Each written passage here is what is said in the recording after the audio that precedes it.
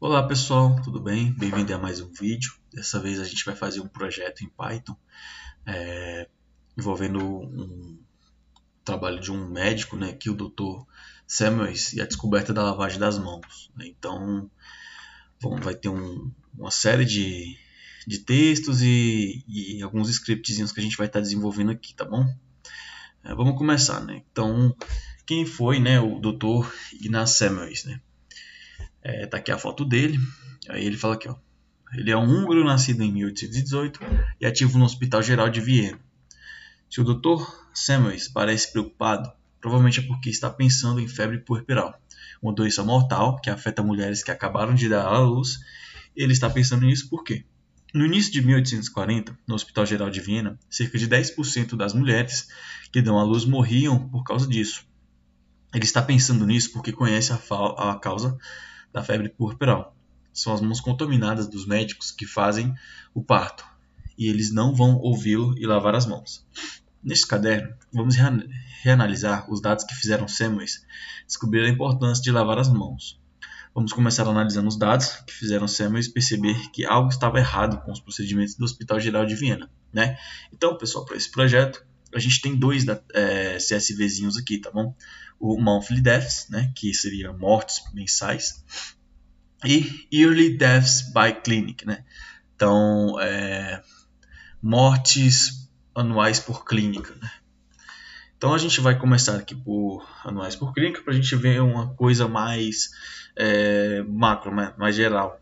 Então a gente vai usar o Pandas para trazer esse CSV para cá. Então, ó, import pandas spd, né? A gente está importando o módulo do pandas para a gente conseguir trazer é, o CSV. Então, ó, uh, eu vou dar o nome dele pra, de ir é, import, opa, import não, pd.read é, csv, né? E eu coloco sempre em aspas, tá? Uh, eu vou copiar aqui o caminho, né? Carreguei ele aqui no Google Colab. Né? Se você tiver na sua máquina, é só você dar o caminho que ele tá, né? O diretório da pasta. E aí, ó, eu venho aqui e colo ele aqui. É, você vê que tem, tem a finalização aqui .csv e vamos printá-lo, né? Bom, no notebook é bem tranquilo, eu poderia simplesmente é, vir aqui e definir só a, palavra yearly aqui, né? Que ele já iria trazer, eu posso usar também print, né? Se for, por exemplo, está usando aí uma, está usando um notebook, talvez ele peça para você printar mesmo.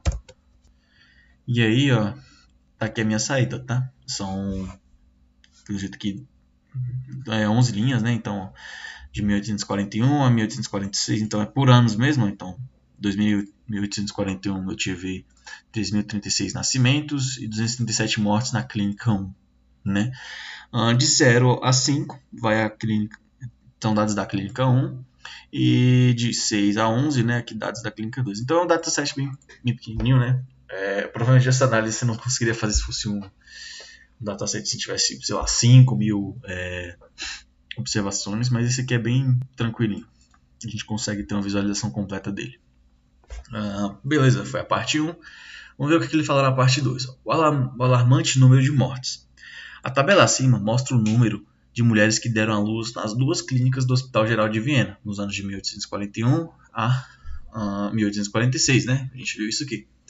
Você notará que dar à luz era muito perigoso. Um número alarmante de mulheres morreu como resultado do parto, a maioria delas de febre puerperal, né? a teoria aí do doutor. Uh, veremos isso mais claramente se observarmos a proporção de mortes em relação ao número de mulheres que dão à luz. Vamos ampliar a proporção de mortes na clínica 1, né? Então, pessoal, é, nessa parte aqui a gente vai calcular proporções. Uh, vamos calcular primeiro a proporção de óbitos por nascimentos, né? Como é que eu faço isso? Ó, eu tenho que pegar e fazer um cálculo entre é, colunas, certo? Qual é a coluna que eu vou querer? É, a gente vai dar, um, vai dar uma nova definição aqui para uma coluna, que ela vai se chamar proportion uh, né? E aí, o que, que significa essa proportion deaths? Essa proporção de, de mortes. Opa. ela é o resultado de da divisão, né, da coluna uh, deaths para a coluna yearly uh, births, ok? Fazendo esse cálculo aí, a gente vai ter uma nova coluna com base nesse cálculo. Está né? recebendo aqui uma nova variável. É, então vamos é, printar aqui, tá bom? Mas antes, né, ele pede uma coisa aqui também, ó. Calma aí, opa. É, extrai os dados da clínica 1 na variável clínica 1 e os dados da clínica 2 na variável clínica 2, né? Então, como é que eu vou fazer isso? Eu vou dar, definir novos, novas variáveis aqui. Clínica 1 recebe o meu dataset early, né, que é onde está é, os dados da clínica 2 e da clínica 1 juntos. Então, onde for a coluna clinic igual a clinic on, né, ele vai atribuir aqui a minha variável. E o mesmo serve para a clínica 2, né, clinic 2. É, yield, opa, colchetes, clinic, eu vou atribuir tudo que for igual a clinic 2. Né? Tudo que todas as informações em que clinic for igual a clinic 2, né? Então, a ideia é o que vindo essa variável tudo que for a clinic 1, né? Então, ele vai pegar isso aqui e a clinic 2 ele vai pegar isso aqui. Né? Então, basicamente é isso. É, print os dados da clínica 1, né? Então, print clinic 1. Então, ó, é, opa, ele deu, deu um, uma resposta aqui. Ah, tá bom. Olha aqui, ó. Eu esqueci uma parte que é o que? Isso aqui tudo tá tendo agra sendo agregado ao dataset clinic, né? É claro que ele vai mostrar true, tá? Todos são verdadeiros até a nível 5, depois é falso, né? Mas eu quero mesmo os dados de clinic 1 e clinic 2. Vamos ver se funcionou. Pronto, agora sim. É, então, ó, até a 5 eu sei que é clínica 1, mas detalhe, olha aqui. Já mostra pra gente a proporção de mortes, né? É, isso aqui. Então, então já é uma coisa, um bom avanço aí na nossa análise.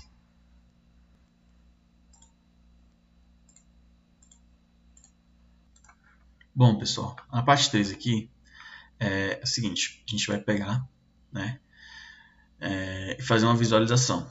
Então, o que ele fala aqui? Ó, mortes nas clínicas. Né? Se agora traçarmos a proporção de mortes na clínica 1 e na clínica 2, veremos um padrão curioso. Né? Então, ele está pedindo para a gente importar o matplotlib. Né? Então, a gente vai dar um import é, ponto é, que é o que eu vou usar, né? SPLT. Então ele já dá uma, já me sugere aqui uma abreviação, tá bom? Não, você não necessariamente precisa usar isso aqui, é, mas é o recomendável, né? Para o seu código ficar bem legível, bem otimizado. E aí ele fala, isso aqui faz com que o, os gráficos apareçam no notebook. Basicamente a gente dá uma ênfase aqui no uh, matplot, né? matplotlib em line, tá? Para que a gente faça que é, o nosso gráfico apareça. Aí, ele fala que é um gráfico com a proporção anual de mortes nas duas clínicas. Né? Então, repare que eu não vou fazer apenas um gráfico, vou fazer dois em uma impressão só. É, então, vou definir ela aqui como AX, né? vou botar assim, e a gente quer a proporção das duas clínicas, então vou pegar primeiro por clinic 1 é, e ponto plot, certo? Foi o, o, que a gente vai usar aqui da biblioteca que a gente importou. E aí o que, que vai estar no meu eixo X, ó, né? Meu eixo X eu quero year, quero ano, né? Então, ó, aqui, ó, eu quero os anos é, para a gente analisar as mortes. E no eixo Y eu quero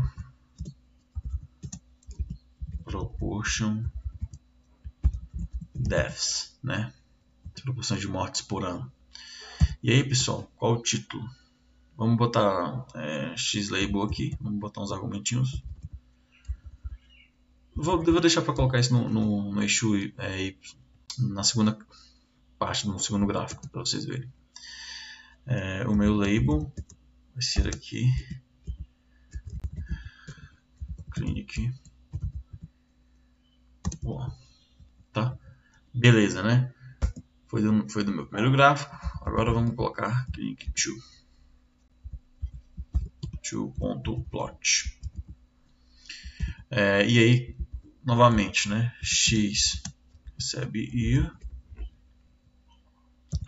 o y né?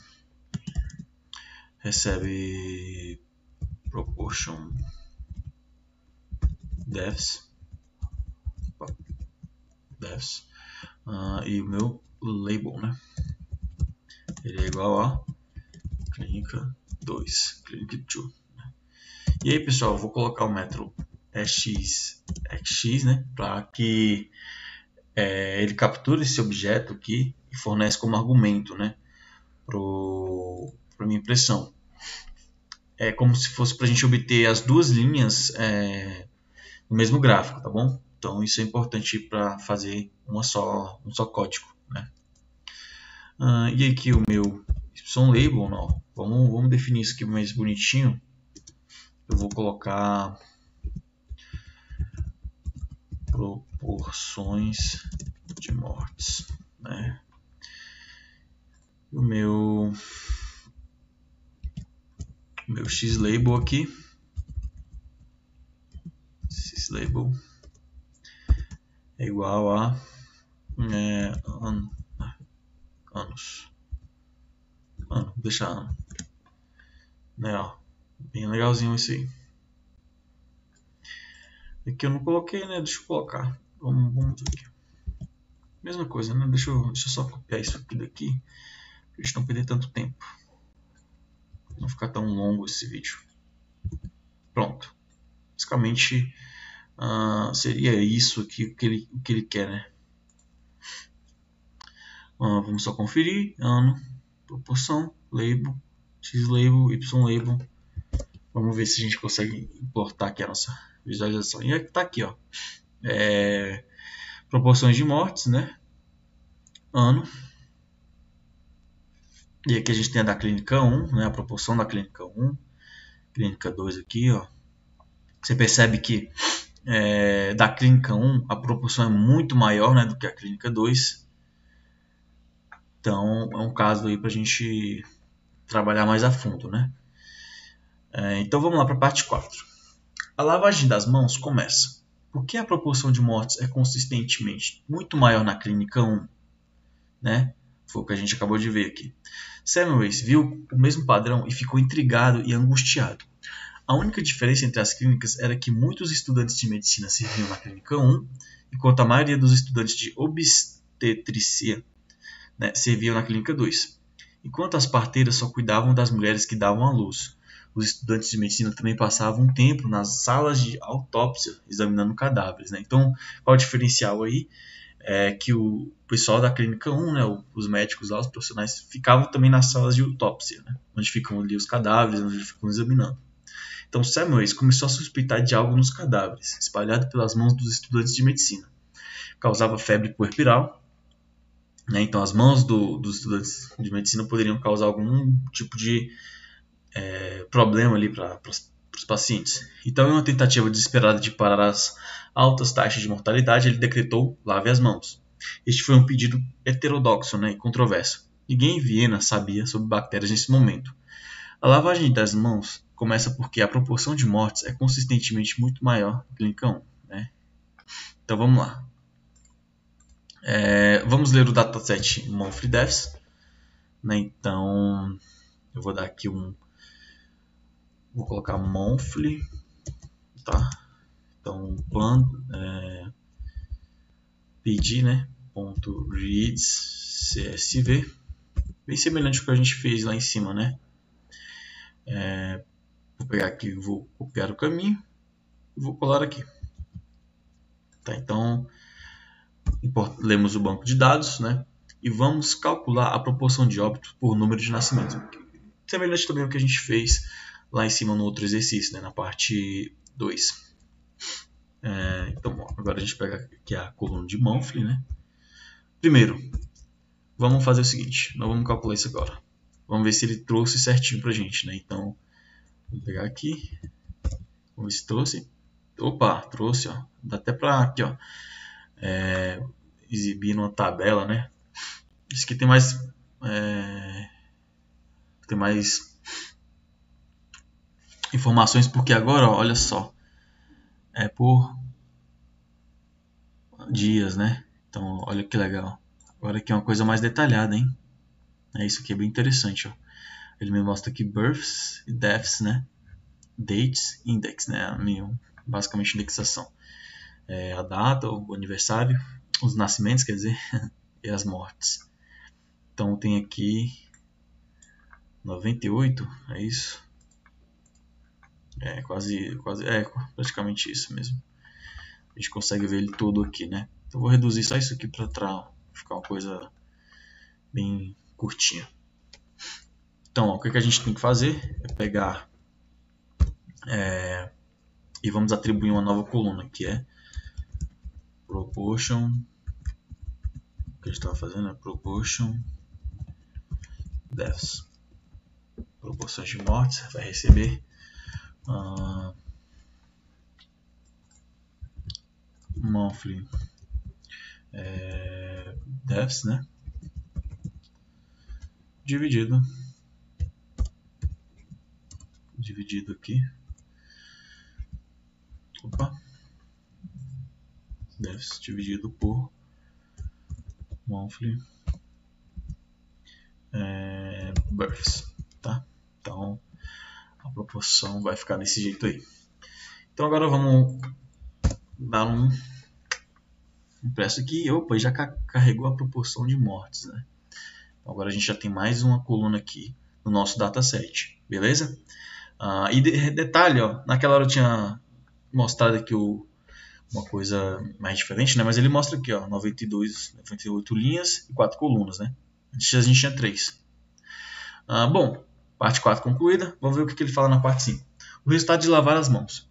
Com os dados carregados, agora podemos ver a proporção de mortes ao longo do tempo.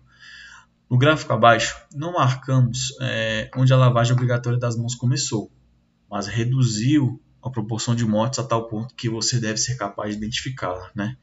Então, vamos pensar, pô, se o médico estava certo, quando é que eu vou ver esses resultados é, estarem certos, né? Então, carrega o gráfico para a proporção mensal de mortes, né? Então, vamos fazer isso. É, eu vou dar um para aparecer aqui no nosso gráfico, né? Um matplotlib. A gente está usando essa essa biblioteca. EUAX, né? Vamos definir monthly.plot, né? Então não mudou muita coisa, pessoal. A mesma coisa que eu fiz na, no, no primeiro gráfico, vou fazer aqui também. Então, ó, o ideal aqui é a gente ir praticando é, plotagem de gráficos, né? y igual a proportion depths, tá?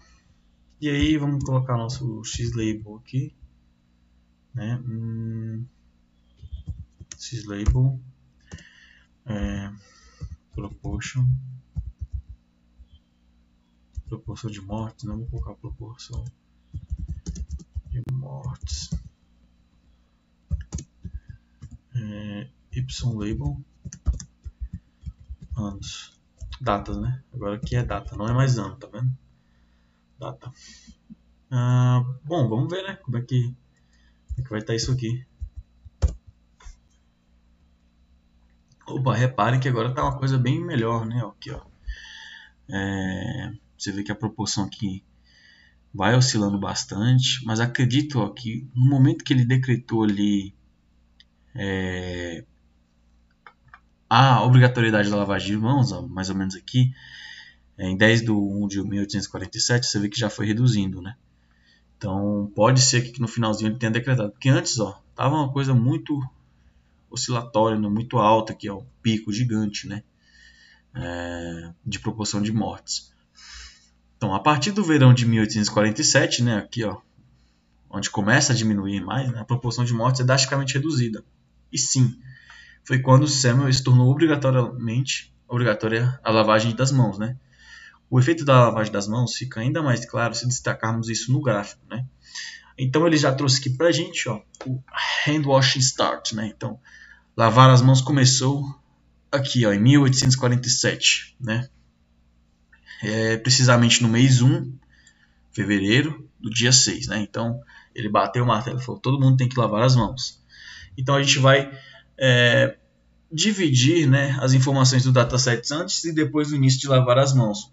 Basicamente semelhante ao que a gente fez para dividir aquele dataset early em clínica 1 e clínica 2, né? Então vamos fazer isso. Então, ó, before washing, né? antes de lavar as mãos, a gente tinha o que? É, o dataset monthly da coluna date, né?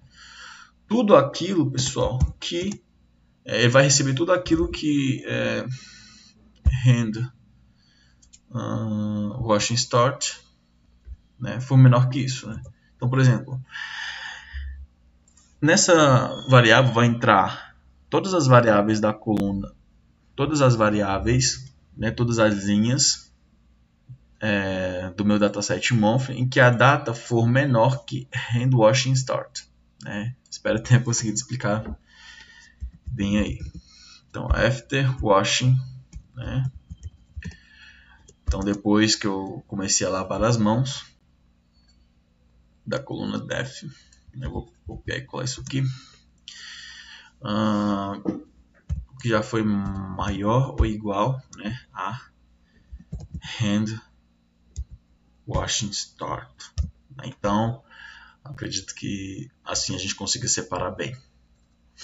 E aí, vamos fazer também, né, ó, ó, plotar um gráfico que mostra a proporção de mortes antes e depois da lavagem das mãos. Então você percebe também que é a mesma coisa que a gente fez lá no 2, só que agora também dois gráficos para a gente trazer é, um comparativo né, entre séries. Antes de lavar as mãos e depois de lavar as mãos. Então vamos fazer isso. Dá o meu AX aqui. Before washing. Né, before washing ponto plot. O que, que tem no, no eixo X, pessoal? Bom, a nossa data, né? A gente está comparando uma coisa tempo, é, ao longo do tempo. E a nossa, o nosso eixo y, proportion depths, né? Ah, beleza, o nosso label é, aqui a gente tem que especificar, tá bom? Com base no que ele vai fazer é, a nossa a nossa relação. Então, before é, hand, né? hand washing, tá? Esse aqui vai ser a nossa legendinha lá, né? Antes de lavar as mãos, tá? Uh, after uh, washing, né? Washing ponto plot. Né? Então a gente pega aqui a nossa variável, coloca aqui, vamos plotar um gráfico usando ponto plot. Uh, x igual a date né? Que eu quero colocar aqui no meu eixo X e agora o meu eixo Y, que é também basicamente é, aqui o meu Y, né? Então a gente vai analisar duas proporções, é, uma antes de lavar as mãos e outra depois de lavar as mãos. Né? After. Uh, label. Opa, esqueci do nosso objeto aqui, né? A gente está a gente tem que atribuir isso a o objeto AX, tá bom? Para que ele plote duas visualizações no mesmo gráfico, beleza? Então, label vai ser proporção de mortes uh, e label, né? Vamos colocar aqui. syslabel vai ser data, quer dizer. É, vamos ver se funcionou. Ele vai dar um start, vai carregar. Opa! Vamos ver o que ele falou aqui. Hum, not supported between instance or string, né? Ah, sim, tá tudo bem. Então, peraí. Bom, pessoal, eu fiz aqui de um jeito diferente, né? Eu coloquei agora diretamente a data. Acredito que ele está encrencando um pouco com isso, em declarar uma variável dentro da data, confundindo, né? Então, ó, é, ele já, a gente já tem um área aqui, né? a gente percebe que antes da vacina, antes da vacina, antes da, de lavar as mãos, é, a gente tinha uma, um, uma proporção melhor, né? proporção maior, e agora a gente tem uma, uma proporção é, menorzinha aqui, né? Ah, depois de, de, ter declarado a lavagem de mãos. É, certo, né? Mas repare que é o seguinte, uh, olha só o meu eixo X aqui, né? A gente não consegue ver essa data direito, né? Ela está sobreposta, é, uma em cima da outra, né? Então, um jeito da gente é, fazer isso, né? A gente vai pegar o plot, né? Ó, e uma coisa interessante aqui, ó, se fizer isso aqui, ele vai trazer para a gente vários é, parâmetros, né, que nós podemos usar. A gente vai procurar pelo X, vamos ver se já aparece aqui, aqui ó, vamos ver aqui, é, X-Sticks, né, que é dimensionar essa rotação aqui dentro, né, ó, a gente tem uns parâmetros aqui dentro também, que a gente pode usar, né, ó, parâmetros, e a gente vai colocar aqui, eu vou colocar, ele dá até um exemplozinho aqui, ó, bastante legal, a gente vai usar o rotation para é, a gente rotacionar essas datas, né? Vou colocar 50, acho que fica melhor. Vou ver aqui. Pronto, então a gente já consegue diferenciar aqui melhor é, as datas, né? Então acho que ficou uma coisa mais harmônica, mais tranquila para a gente ver certinho, ok? Então vamos continuar aqui, né? Ó, mais mãos limpas, menos mortes. Mais uma vez, o gráfico mostra que a lavagem das mãos teve um efeito enorme quando, re, reduziu a proporção mensal de mortes em média. Né? Então, a gente tem que fazer a diferença é, de média, né? média mensal de mortes por lavagem das mãos. Aí você pensa, pô, mas como é que eu vou fazer isso? Né? A gente primeiro tem que calcular. É, a gente tem primeiro a destruir adquirir algumas é, variáveis aqui, né? A gente vai colocar before proportion, tá? E isso vai, eu vou pegar aqui ó, do before washing, né?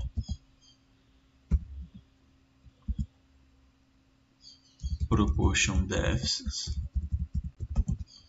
E aí after proportion a gente vai usar do after washing isso também a gente vai pegar aqui do proportion defs e aí eu vou usar a main diff tá então, basicamente uma, uma variável aqui que vai ter é, a after proportion, né? aqui ó, ft proportion.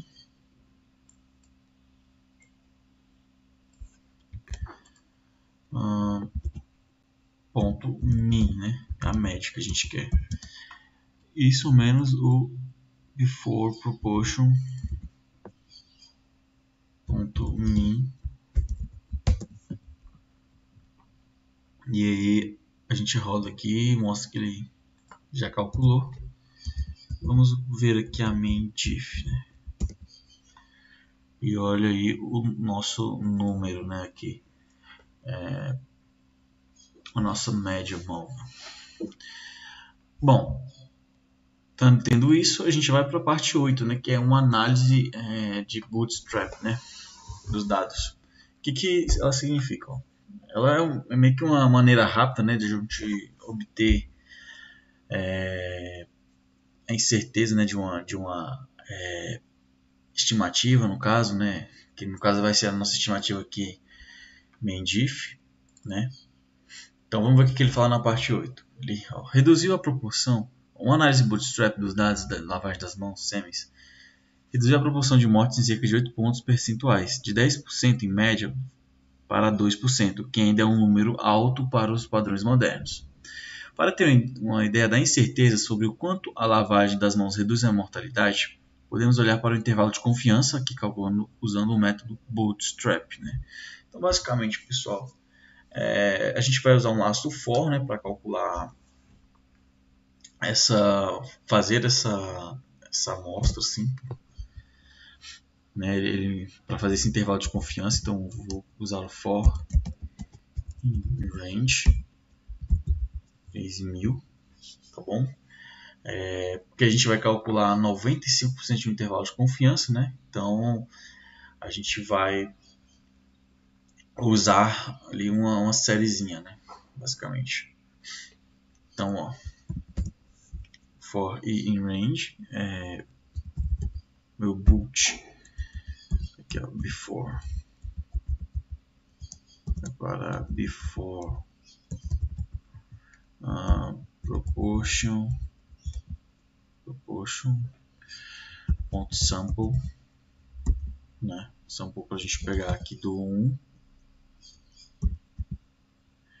é, deixa eu dar um replace aqui igual a true tá? Uh, e um boot uh, after né? After proportion uh, ponto sample né? Uh, frac aqui igual a 1 replace igual a true tá então tá aí o meu antes e o meu depois. E aí o meu boot min diff, né? Ponto append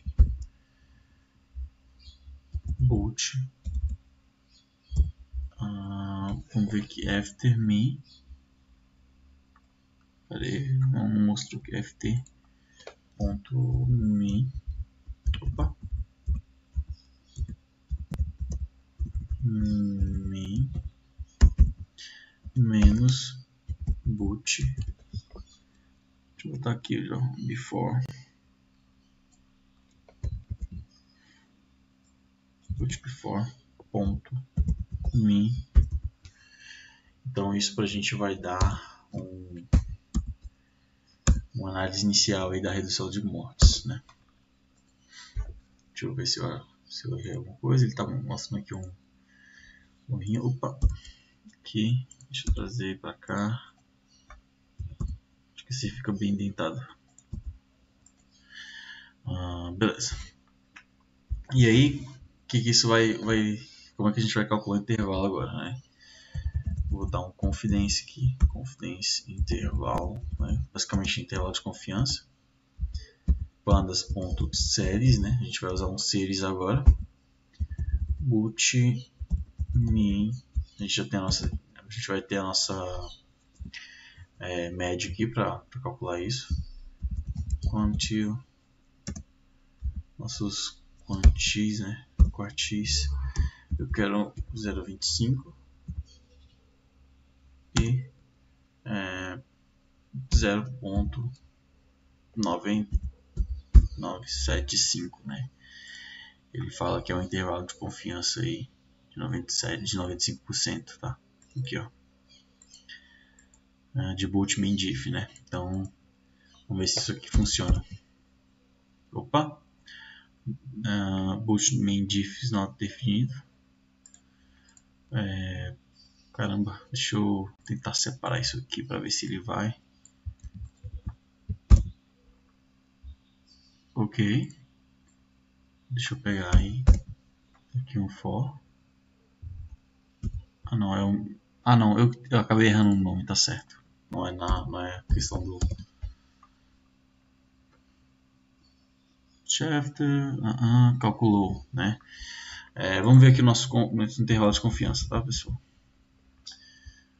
Nosso código aqui, deixa eu pegar aqui, trazer para cá. Vamos ver como é que ficou.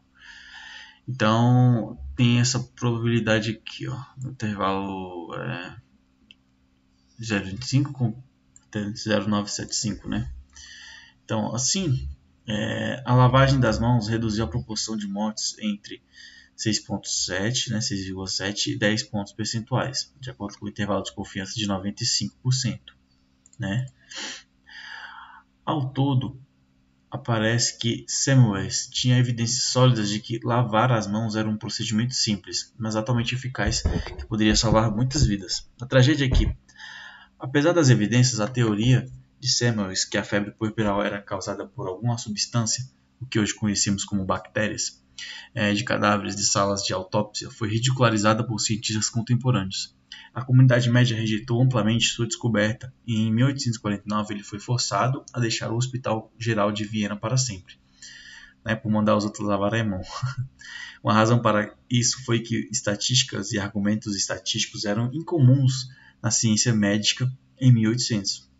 Samuels publicou seus dados apenas como longas tabelas de dados brutos, mas não mostrou gráficos nem intervalos de confiança.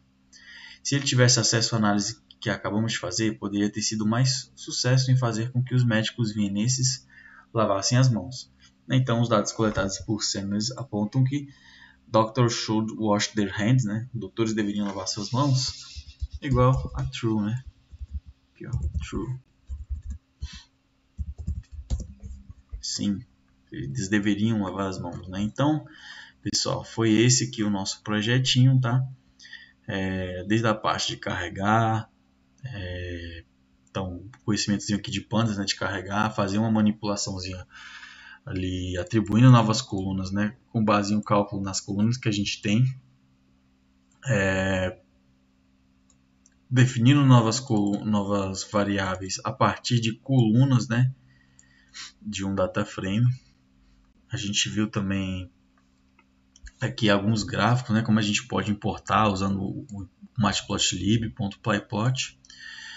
É, a gente fez um gráficozinho né, aqui de linhas para a gente comparar é, os dados da clínica 1, clínica 2. Né? A gente viu aqui a parte de carregar novamente, fazer novamente um gráfico de séries temporais para ver aqui a proporção né, ao longo do tempo.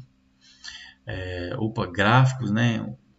Duas linhas dentro de um só gráfico, isso que é bem legal para a gente ver, fazer um comparativo entre elas. É, fazer uma, um cálculo de proporção de média, né? Fazer aqui um intervalo de confiança e tirar com, conclusões né, de que o médico de fato ele tinha ali é, o doutor né Ignaz tinha bastante certeza do que ele estava falando né. Então é, espero que vocês tenham gostado aí. Qualquer dúvida deixe nos comentários é, e até o próximo vídeo. Valeu